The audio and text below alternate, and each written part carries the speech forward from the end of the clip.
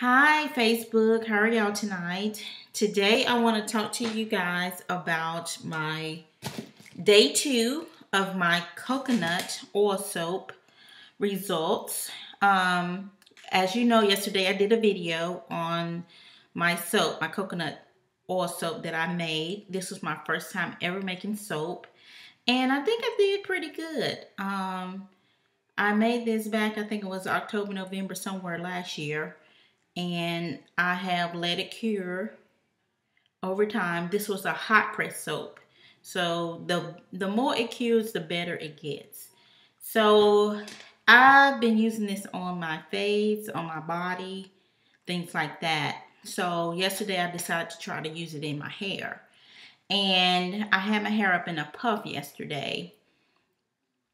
So, and I was very pleased with the results. Like I said yesterday in the video that my hair was felt moisturized, it was soft, it had a lot of elasticity. Well, today, oops, my phone almost fell. Uh, today, I still have elasticity. And earlier today, my hair was a little bit more moist. Um, like I said, I didn't put any oils or anything on my hair because I just wanted to see what my uh, hair results was going to be without any any type of um, moisturizer on it. So today I did the same thing, but except this morning I um, rinsed my hair. I sprayed some of my coffee rinse on my hair this morning. Um, and coffee usually helps with uh, decrease decrease the shedding in your hair. So that's why I use my coffee rinse. Um, so today my hair was more softer. It's still soft. It looks dry and it is a little bit dry, but not like a brittle dry. But um, it's really time for me to deep cleanse my hair and that's what I'm going to be doing tonight. And um, so, but as you can see, the curls are still there too as well. I love the textures of my curls. So, of course, as you see, I can I have a lot of shrinkage. That's because I have not really manipulated and put moisturizer on it to kind of weigh it down a little bit. So, you're going to have a lot of shrinkage, but my hair is really much longer than what it appears to be. So, that's what happens when you don't put anything to weigh it down a little bit. But anyway, tonight I'm going to be bentoniting clay. I'm going to use some bentonite clay. And I'm going to use activated charcoal with the bentonite. Now, activated charcoal, this is not the charcoal that you have a cookout with or a barbecue. No, this is not that kind of charcoal. But it's a powdered um, charcoal and what, what it is, it's activated. And what it does, it's a, it's a detox. It's like a adsorber. And basically, um, as a nurse, this is what we use on patients that have like overdose or got some poisoning. Um, but you can use it on your face, you can use it, um, you can actually drink it as well. And um, you can brush your teeth with it. So um, tonight I'm going to be using it on my hair because my hair, like I said, is long overdue. And I, I, I do this when, um, actually I've never used activated charcoal on my hair. So I mixed it with the bentonite clay. But what I was going to say is that I deep cleanse about every six to eight weeks. I deep cleanse my hair because you need to deep cleanse your hair because your your pores get clogged with the sebum and so it can stunt your growth. So it's always good to um, deep cleanse your hair and get rid of some of the sebum, if not all the sebum, and start over. Because basically, what I use on my hair now is I do a coconut um, cocoa butter and shea butter mixture along with um, vegetable glycerin. Yeah. along with my vegetable glycerin. And those are some heavy butters. And so uh, when I had washed my hair with my coconut or soap, uh, you can really feel the sebum when your hair is wet. And I had a lot of sebum.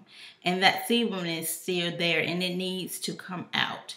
Because you don't get the full effect of the length of your hair when your hair is weighed down with a lot of um, oils. Now, it's good to protect your hair with oils, but over time they do have a buildup. So it is best that you clean it and start over. So, but like in between your um, deep cleanse, you can always use something like the coconut oil soap or whatever you something light just to get some of the the uh, buildup off, but not necessarily to get rid of all your sebum. So, but you should always do a deep cleanse every once in a while to clear your scalp because you want to promote growth in your hair. So, let me show you what it looks like. Now, I have mixed the bentonite and the charcoal together. And it looks like this. It's black. Yes. Now, charcoal can be very messy. And like I said, it is an absorber. So it cleans out all the toxins. It attracts. It's not an absorber. It's an adsorber. So therefore, like a sponge, a sponge absorbs. But when you squeeze a sponge, all the stuff come back out of it. Charcoal is just the opposite. It absorbs, but it keep it holds it it holds it. It's like a magnet. It holds everything. It pulls all all the metals and whatever, all the toxins out, and it doesn't reabsorb. So that's what this is going to do for my hair tonight. So I'm getting a double dose of detox, double cleansing to my hair because I feel like I need it. But anyway, um, When you're using charcoal, you got to be real careful because it's very messy and it's, it's a powder. Um, well, bentonite clay can be messy too, but uh, charcoal is black, so it can stain your counter. So I have newspaper down before I get started. And what I did was I mixed mine, I always mix mine in vinegar. I don't have any aloe vera juice because that helps with it not being so dry because charcoal and charcoal and the um, bentonite will dry your hair. So um, I don't have, I use some of my herbal herbal infusion. So hopefully that'll moisture in my hair some. So I'm gonna have to not, I don't have any gloves so I'm to have to use my hands, so hopefully they won't be so black. And I can get this off, but hey, you got to do what you got to do. So I'm to go ahead and get started on my hair. Started on it. But um, I just want to tell y'all something that happened to me today, which our God is so good. Um, last night I was up late making um, pine tar soap. And, you know, I mix my lye and pine tar stinks. It's strong. It's a chemical that comes from pine tar. I mean, it's, it's a fluid that comes from pine, pine trees. And so it's very strong. So I opened up the window last night and I forgot to close the window uh, last night. So I went to bed with the window open. But anyway, I left the stove on and did not know it. I left the stove on. I have a gas stove. And the flame was not there, but I left the stove on all night and all day. So when I woke up this morning, you know, I could still smell the pine tar, but by me sleeping in it, I did not smell the gas. in which you cannot really smell carbon dioxide, but you know when you smell gas. So I went to work and my stove was on all day long, all day long. So when I came home, I immediately smelled the gas because I was thinking about the soap. I said the soap should be ready and that smell should be gone when I get home. Well, I be darn. I left the stove on. So I had to open up all the windows, all the doors. But I just want to say God is so good because I left that window open last night by mistake. Just think if I wouldn't have left that window open. So I know God has a purpose for my life. I know that He has purpose my life. My hair needs to be trimmed. Look at that. Um.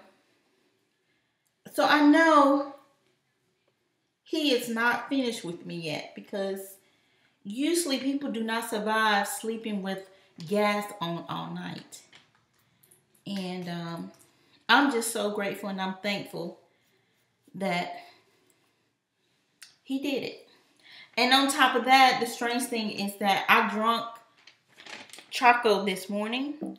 I drank my charcoal, my activated charcoal this morning, and I drank it last night. So that could have helped played a part in it as well. I don't know, but I'm here today to tell y'all that my God is good.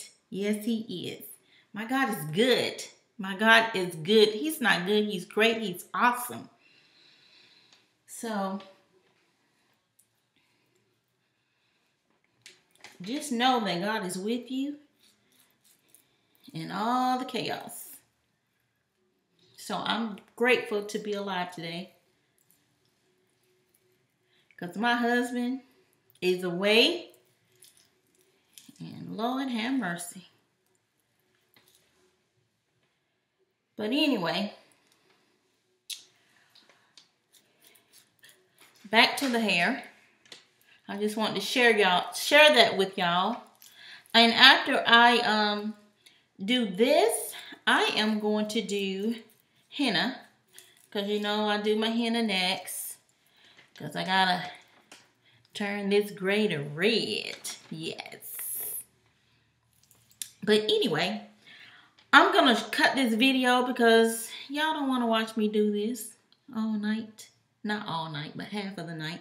Well, my hand is not going to be too bad because it seems like there's more bentonite clay than the uh, charcoal. So it's not making my hand black. Okay, well, I'm going to cut this video short and I will come back and um, show y'all the results of this combination